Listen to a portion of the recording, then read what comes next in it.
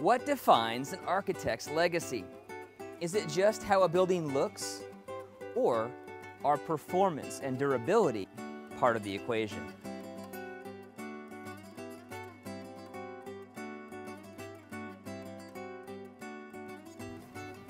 Today I'm talking with Chris and Jodi Lammer Giddens, and they are both architects that comprise the firm LG Squared.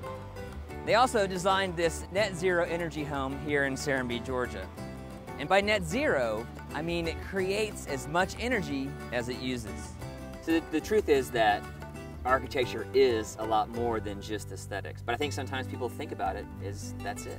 Yeah. What else is there to think about? Well, it's the first thing you see, but there's so much more that goes into the, to that behind that that as, as architects we have to be thinking about that. We have to plan for that or else it, it becomes an afterthought and then some of the, the design that we develop is sacrificed. We want to maintain the integrity of the design and to do that we have to think about it, you know, behind the surfaces.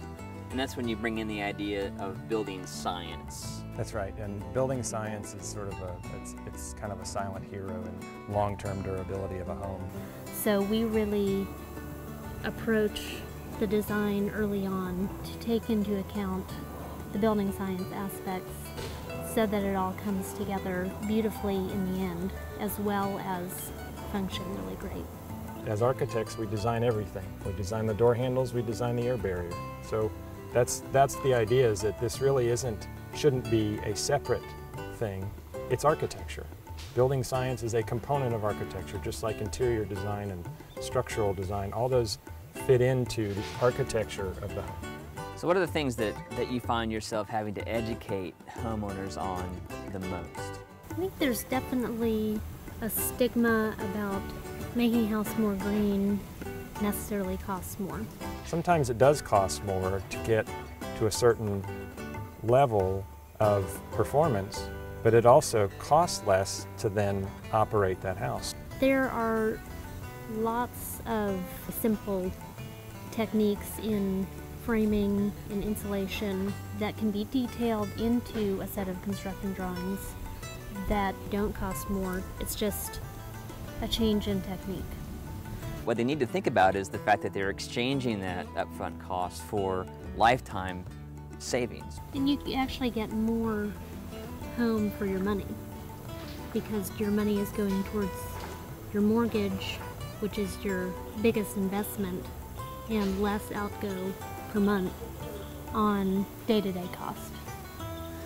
A home is one of the biggest investments we'll make in our lifetime.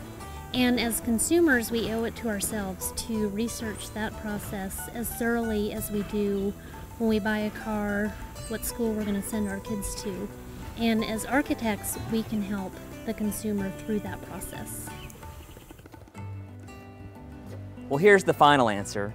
An architect's legacy has a lot to do with happy homeowners. And yes, aesthetics are still important, but so is durability, performance, and efficiency. But ultimately, a home is a place where life happens. And so livability and lovability are important factors as well.